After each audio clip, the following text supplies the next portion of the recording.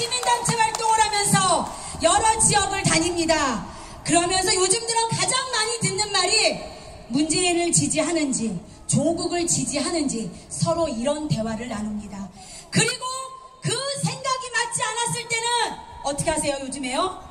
싸워요. 저는 이 문제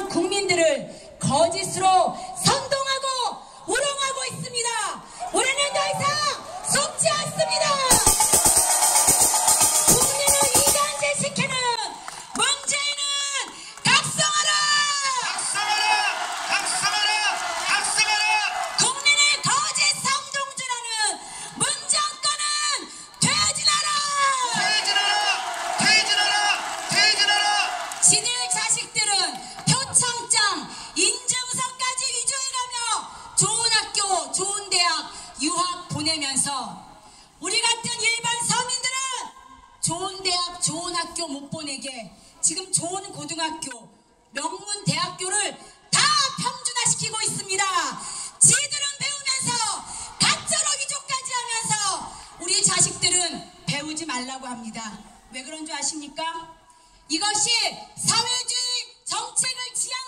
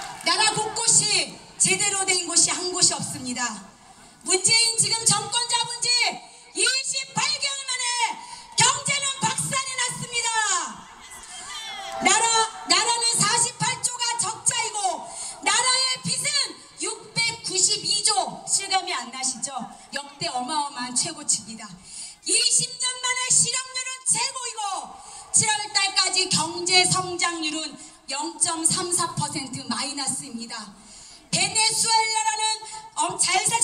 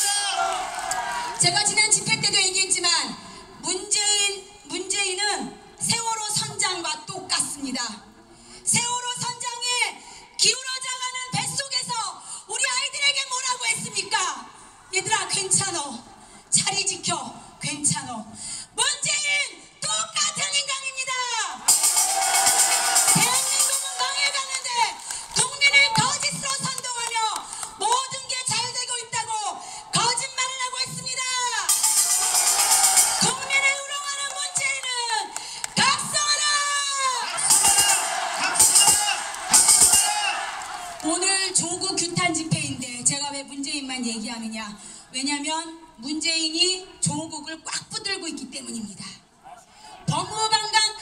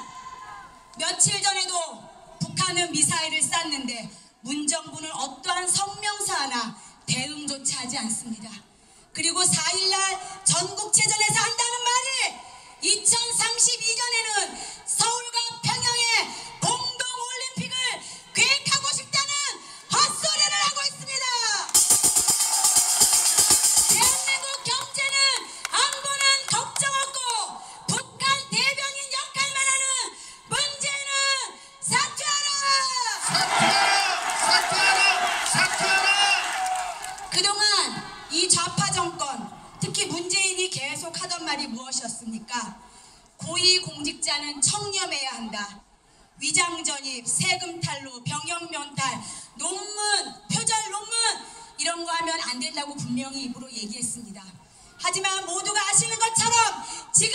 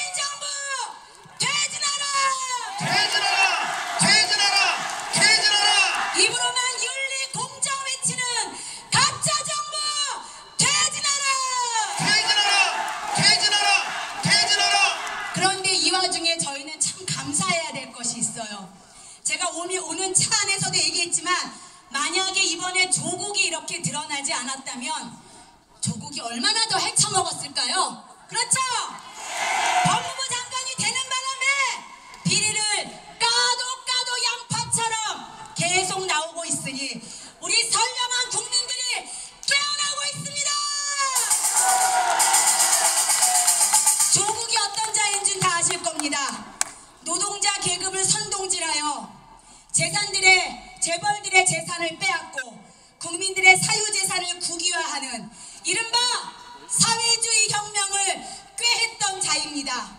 그래서 자기 입으로도 자기는 청문회 통과 못할 거라는 이야기를 했습니다. 사회주의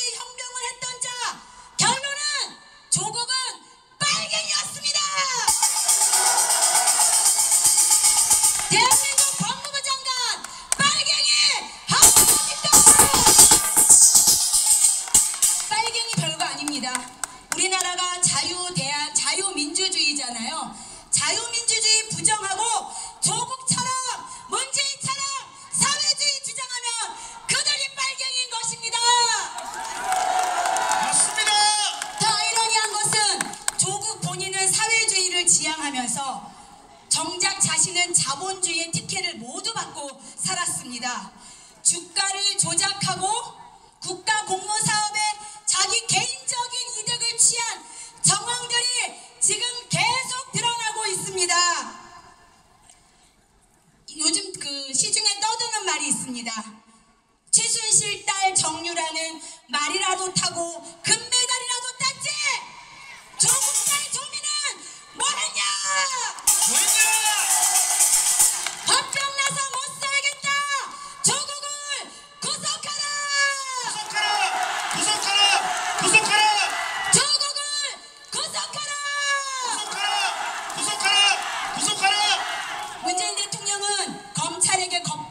진단해야 합니다.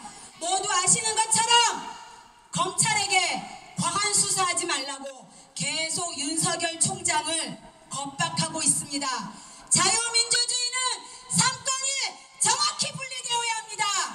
언제는 윤석열 총장이 사람 눈치 안 보는 사람이라고 좋다고 하더니 그들의 수사가 청와대를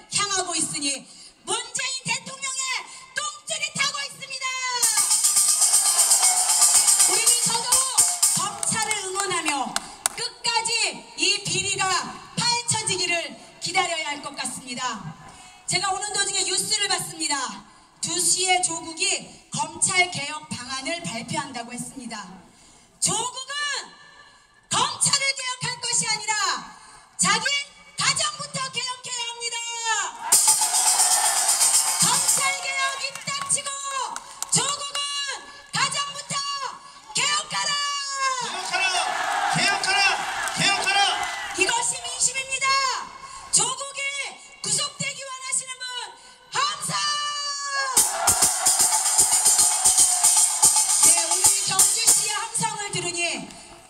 세상의 진실은 밝혀질 것이고 그 어둠 속에 있다 바퀴벌레들이 하나둘씩 잡혀질 날이 얼마 남지 않았습니다.